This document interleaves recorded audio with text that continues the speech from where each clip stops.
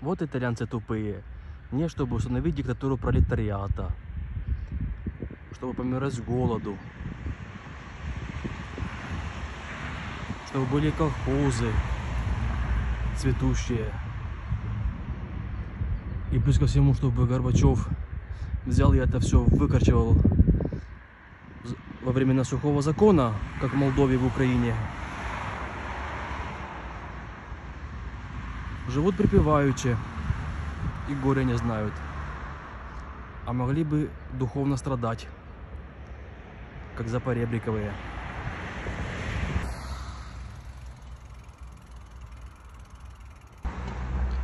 Оказывается, так можно было жить. А вот еще одни последствия кризиса в Европе. Новострой.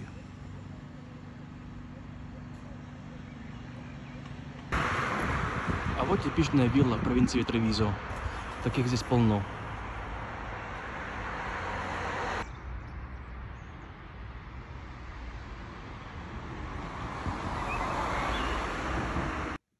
Вот такая вот церковь.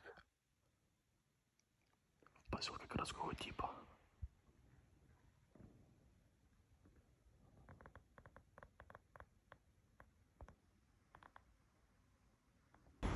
Каждую субботу проводят сборы и раздачу вещей для нуждающихся.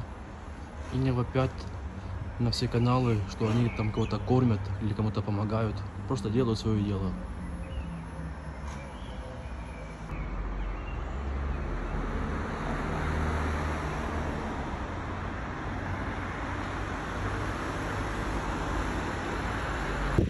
Ну вот как можно не возмущаться жизнью в Европе?